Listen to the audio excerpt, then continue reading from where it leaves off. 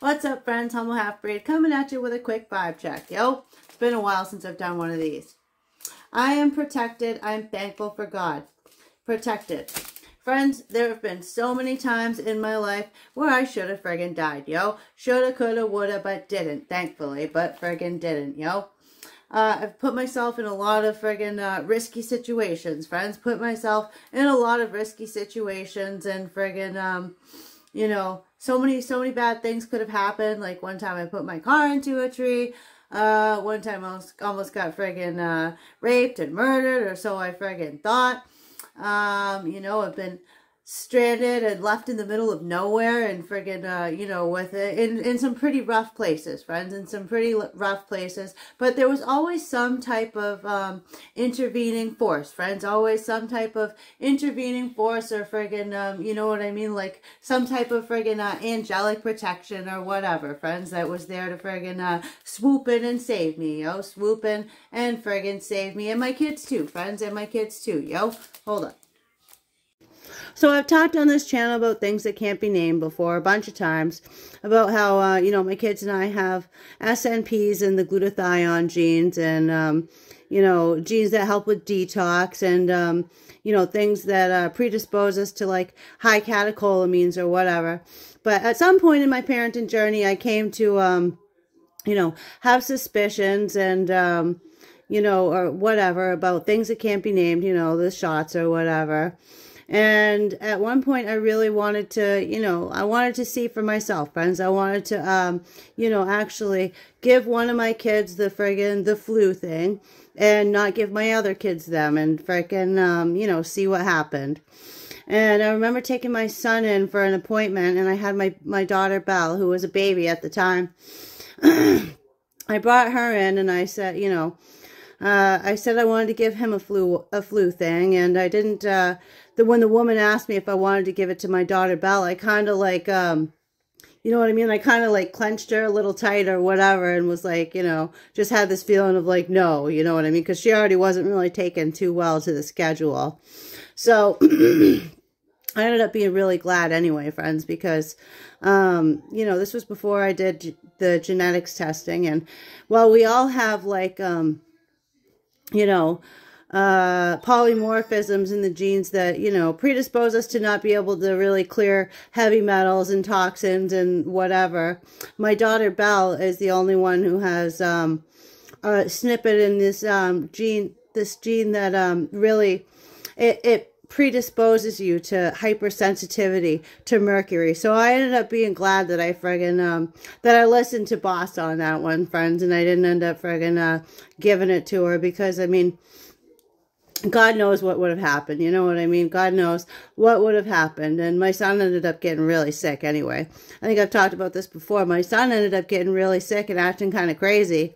And so did my oldest daughter because, you know, she ended up having that same freaking, um, that same flu thing with, you know, Schmeimerishmal and um, they both started acting crazy and you know got crazy gut infections or whatever and freaking um, i didn't understand it friends. I didn't understand till i got their records you know like months later or whatever that you know they ended up they both ended up having it. And so that was when like a light went off in my head or whatever friends. Hold up. Could have been worse anyway friends. Could have been a lot worse yo. Uh, like I'm sitting here and friggin', um, you know, my twin flames in my head are like, oh, you're so protected. Then friggin', uh, why are you sitting here? Why are you sitting here saying that you're so blessed and favored when, you know, you're, you're talking about how friggin', uh, things that can't be named, you know, hurt your kids or whatever, friends. But, you know, uh, it could have been a lot worse. It could have been a lot worse and friggin', um, you know what I mean? Like God tests his chosen ones, friends. God tests his chosen ones. You know, they experience uh, tests and challenges and friggin' delays or whatever. But friggin', um, it takes a lot to talk about that stuff, friends. It takes, like, everyone's put here for a purpose, friends. No matter how big or how small, everyone is put here for a friggin' purpose. And, um, you know, like just uh, just to validate one person, friends. Just uh, at least in my experience, having just one person to validate that, and there were a few friends. There were a few, uh, like my grandmother. My grandmother said she believed me. Another parent, you know. told me that that happened to them. Obviously, there are many heroes, uh, you know, on the internet or, you know, in real life. Uh, many, many, many more used to be available on friggin' YouTube. But uh, just to validate that to someone, friends, is like a really huge deal. You have no idea what it's like to friggin' um, suffer in silence with that kind of thing. But anyway, so, um, Anyway, could have been a lot worse, friends. If I would have given my uh, youngest daughter, Belle, that the the thingy with Shmai Marismal, she probably friggin' she probably would be like uh seriously mentally friggin' um handicapped or disabled or whatever, friends. And she's actually uh she's a really smart, sweet girl. But anyway, thankful for God, friends. Thankful for God. Uh, there have been so many times, friends, so many times in my life where, you know, I could have died, seriously. Like I put my tree, my car into a tree before and it was just so, so, so wrecked, friends. And, um, the people who saw me walk away from that were like, I can't believe you just walked away from that without a scratch on you. Like, I kind of bumped my head a little bit, but that car was friggin' totaled, and I should have been friggin' dead, friends. There was, um, there was this one time, wasn't really the highlight of my life, friends, where uh, I met someone and I was like, walking walking into the woods. Friends i was walking into the woods to go friggin um i don't know i think we are we were going to look for mushrooms or something like that friends. Or he told me that we were going to go look for some mushrooms. Uh and like i think he was going to kill me friends. He was probably going to rape me and kill me or whatever because we got so far out into the woods and then friggin um this is when i was like pfft, I don't know, way before I had kids, friends. Years before I had kids. Probably, uh, you know, 20 years old or something. But yeah, we walked pretty far out into the woods and then just out of nowhere, he's like, you know what? I can't do this. I can't do this. And he turned around and fucking uh, left me or we, we walked away or whatever. But I think he was going to probably rape and kill me.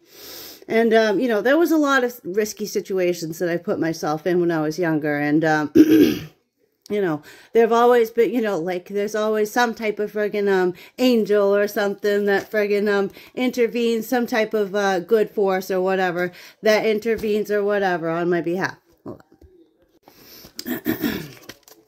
you know, I've talked to you guys before about like uh the type of challenges that I've uh experienced with my twin flames and the type of intentions that they send send to me and you know um, they're pretty much always trying to convince me that, you know, there is no God, that God isn't real, that God is your subconscious, that it's basically only the law of attraction, which I've talked about many times uh, on this channel. But in my eyes, friends, there's um there's something greater than just um thoughts and feelings and energy and electricity. There's like a there's like a force for good and like a force there's like a force for good and uh you know which is the prevailing force friends which is you know there's like a moral fabric to the universe. There we go friends. It's not it's not just like a big stupid universe who just responds to our freaking um you know our thoughts and feelings. There's some there's something greater that you know what i mean intervenes or whatever like um so many times I've been through like real dark, tough times. And, you know, a lot of times, I'm sure anybody can relate. You know, you're going through some really, really dark, tough shit. And then just, you know, you feel like it's never going to get better. And then just out of nowhere, you know, God drops a big blessing on you or something, you know, just lifts that weight off you or whatever. Like I said before, friends, patience of Job rewarded like Job, you know, the bigger the suck, uh, the longer the wait, the friggin', uh, you know, the bigger the relief on the other side, friends. You just got to friggin' uh, keep that faith and friggin' uh, continue to smile through the suck, friends. Continue to smile through the suck. Like there is definitely, angels are real. There's a friggin', um, you know, there, there is, there's definitely a force for good out there, friends. There's, a, unfortunately, like we've talked about before, you know, the, you know, when you're thinking about fucking, um, you know what I mean? Vibing with the angels and the gods and shit. There's not a, you know, there's not a whole lot of stuff at the top and the shit at the bottom.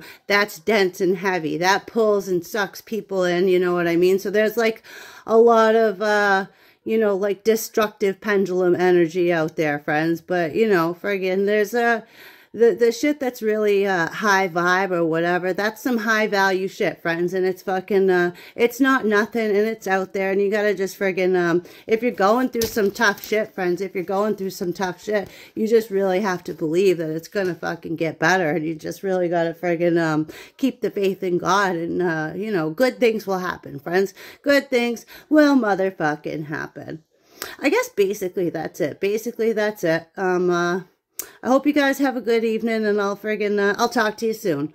Friggin' love you guys. Humble Halfbreed. Pacing on out of here.